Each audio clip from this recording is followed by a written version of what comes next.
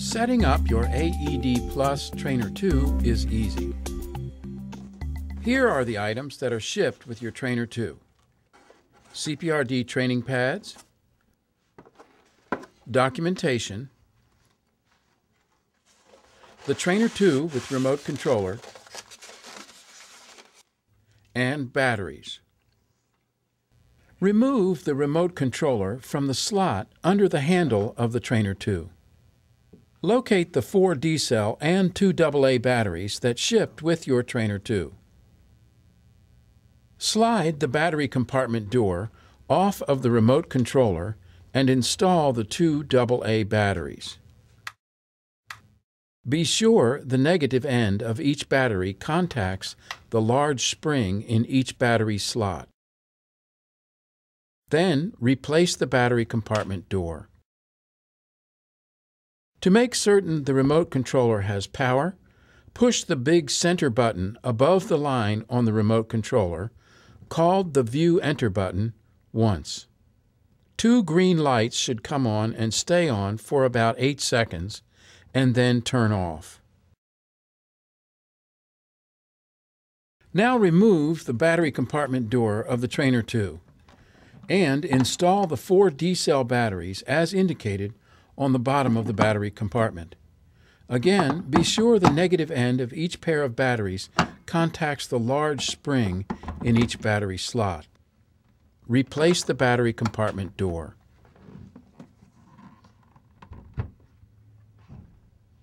To make certain the Trainer 2 has power, push the on-off button once. The red status indicator light should flash once, and then the green status indicator light should remain on. Now turn the unit off by pushing and holding down the on-off button once.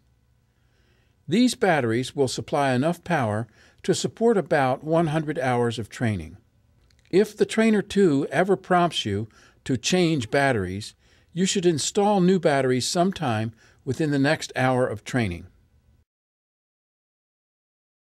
Continue your Trainer 2 setup by removing the CPRD training pads that came with it. Open the box and remove the pads and training gels. Open the package and remove the pads. Attach the training gels to the CPRD training pads.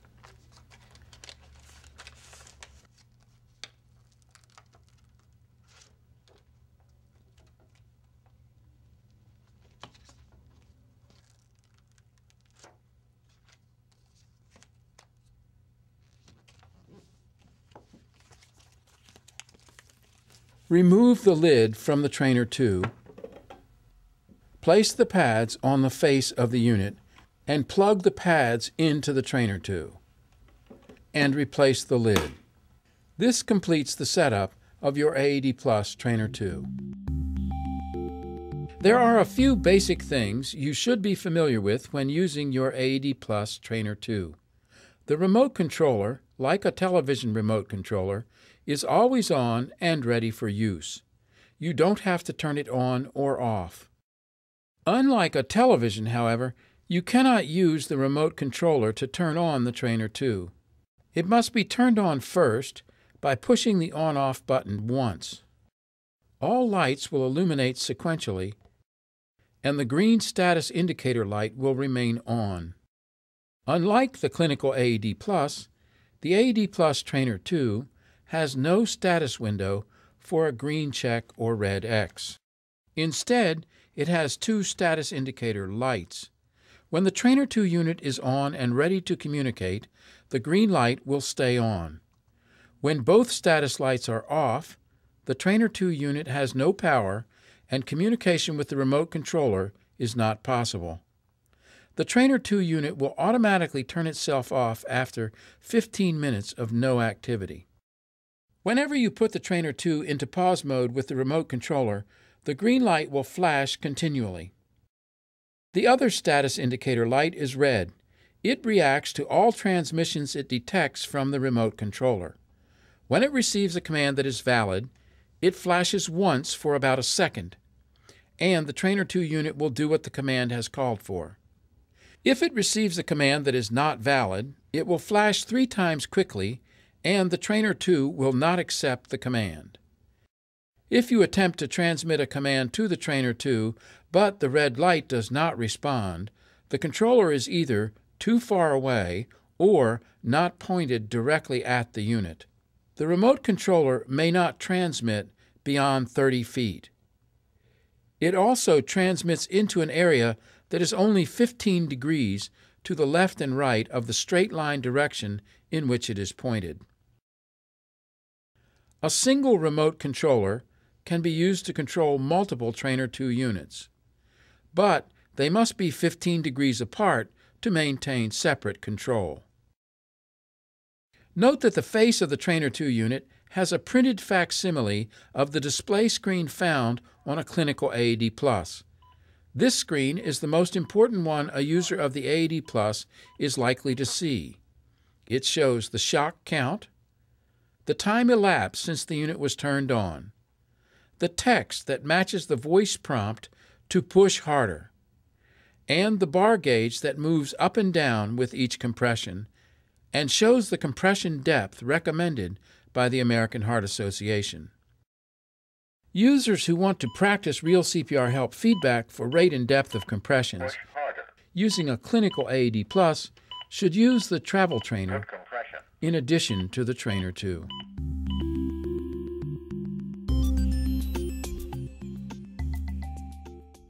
Notice the horizontal line on the remote controller.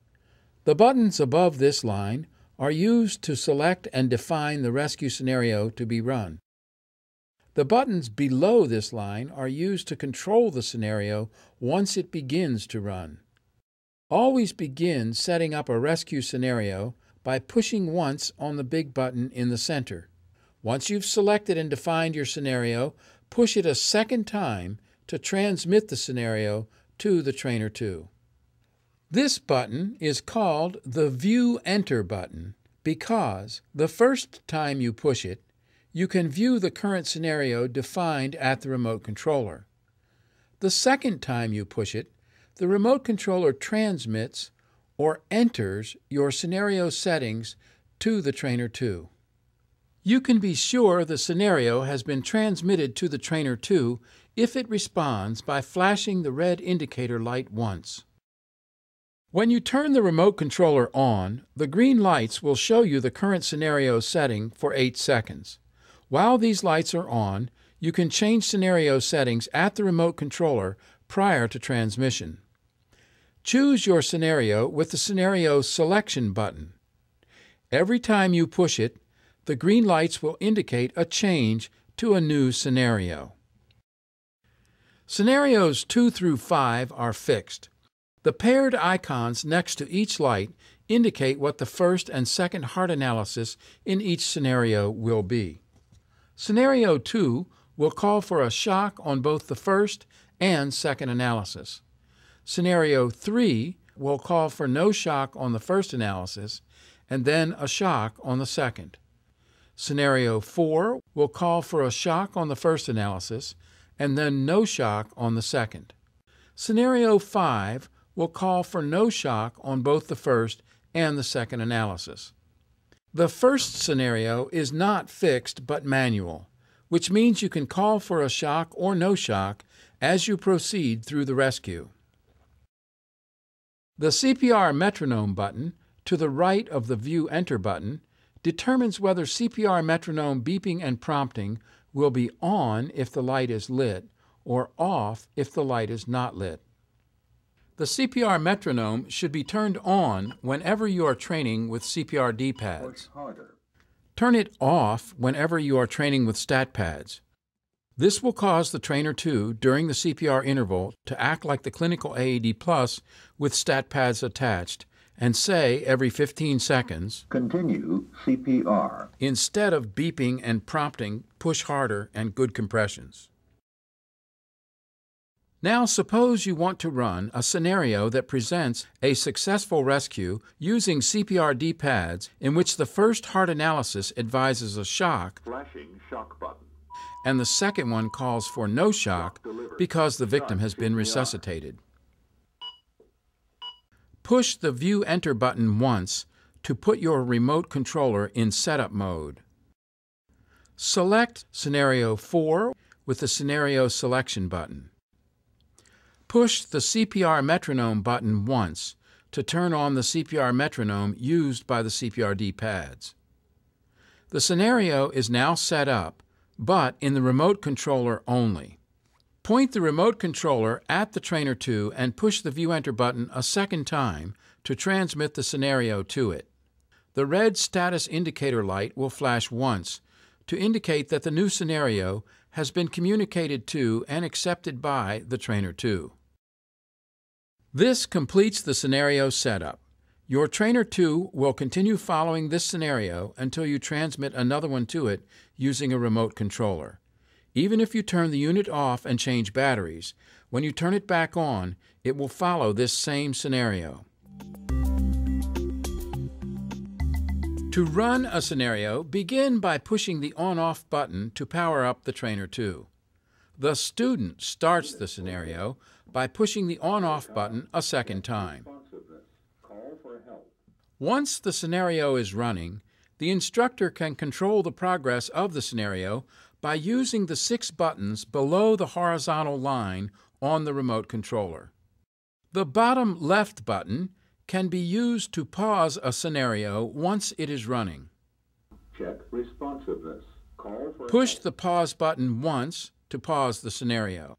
Push it again and the scenario will resume. pads to patient's bare chest.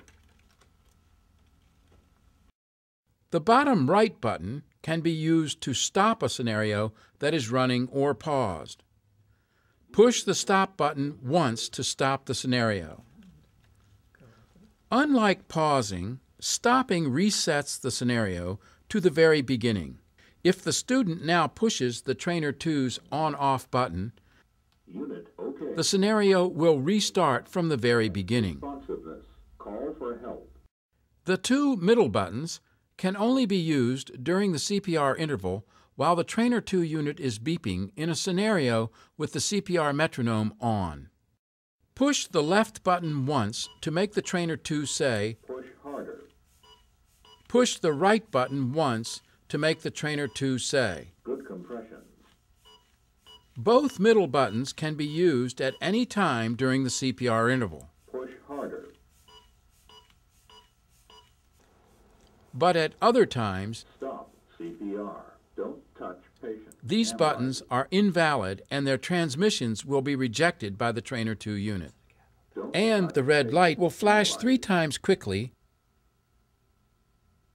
The No Shock button on the top right is used to call for a result of no shock advised on the next heart analysis. It can only be used during a manual scenario and not during one of the four fixed scenarios. By default, in every manual scenario, the heart analysis Don't touch patient. Analyze it. will always advise a shock. Push the no shock button once to force the next heart analysis to advise no shock. No shock advised. Start CPR. This button is unidirectional. Once you have called for no shock, you cannot override it to make the Trainer 2 unit call for a shock. Once a heart analysis is over, however, the Trainer 2 unit will automatically reset the next heart analysis to advise a shock. The top left button, the pads button, is used to let the Trainer 2 unit simulate when pads have been attached and are in contact with the patient's heart. In all scenarios, when the Trainer 2 unit says, Attach defib pads to patient's bare chest. it will keep repeating this prompt Don't touch patient. Analyzing. until the pads button is pushed once to simulate pads attachment Don't touch patient. Analyzing. and heart rhythm detection. The pads button can also be used to indicate that a student has attached pads quickly, which will cause a jump to analysis. Stay calm. Check responsiveness. Call for help. Att- don't touch patient. Analyzing. Don't touch patient. Analyzing. During a heart analysis, you can push the pads button once to simulate a broken connection to the patient's heart. touch patient. Analyzing. Analysis halted. Check electrode Push the pads button a second time to simulate reconnection of the pads and detection of a heart rhythm. Don't touch patient. Analyzing. Now let's review a complete simulated rescue using the AED Plus Trainer 2. The instructor sets up a manual scenario using CPR D-pads and transmits the scenario to the Trainer 2.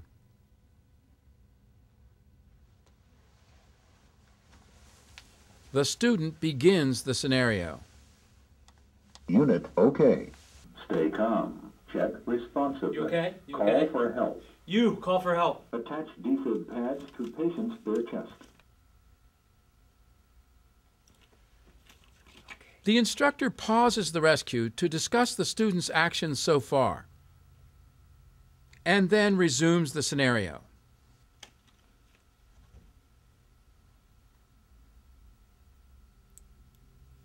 Attach defib pads to patient's bare chest.